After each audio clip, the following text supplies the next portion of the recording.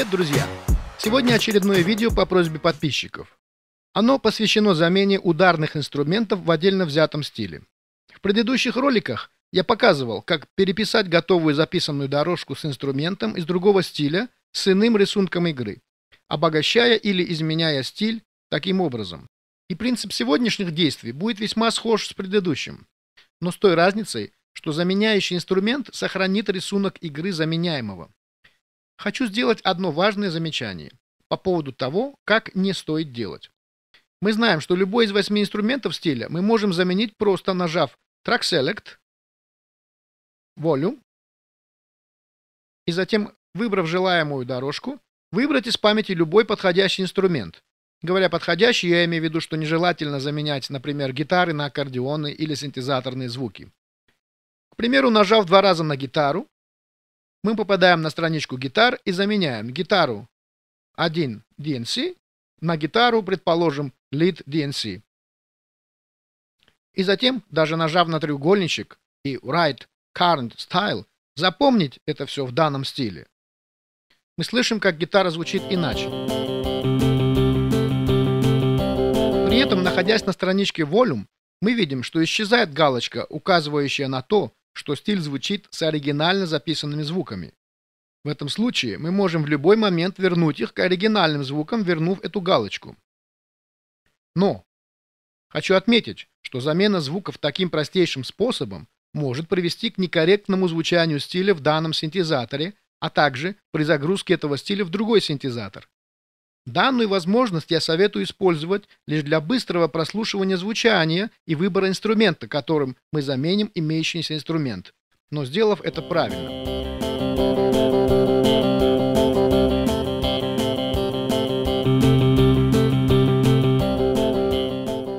Итак, рассмотрим наиболее правильный способ. К примеру, желая заменить ударные, мы прослушиваем и решаем, что нам нравится, например, хип-хоп-кит. Запоминаем примерное место его нахождения. Это ячейка драм P2.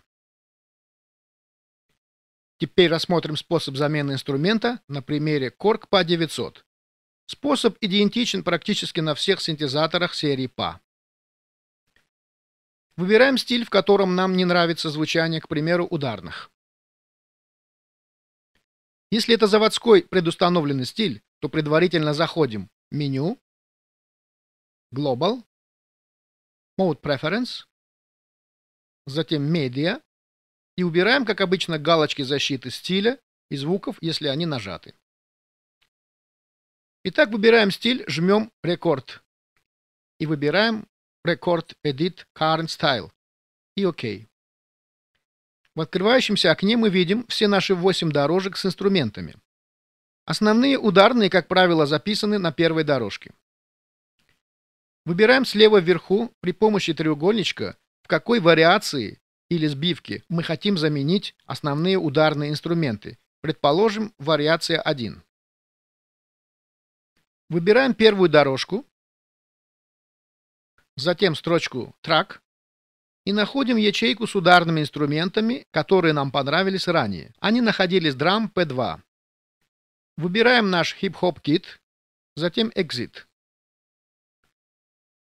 Прослушиваем результат, не касаясь клавиш, так как при прослушивании включается и клавишная запись.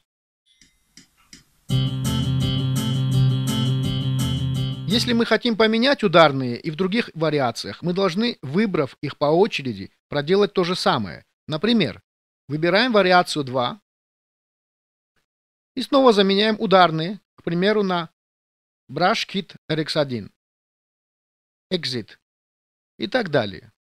Как видите, все просто. Важный момент. Перед выходом из этого окна необходимо запомнить проделанное. Жмем треугольник справа вверху и выбираем Write Style.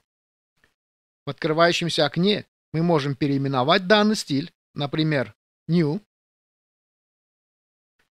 а также, выбрав другую ячейку, загрузить его в нее, как новый стиль.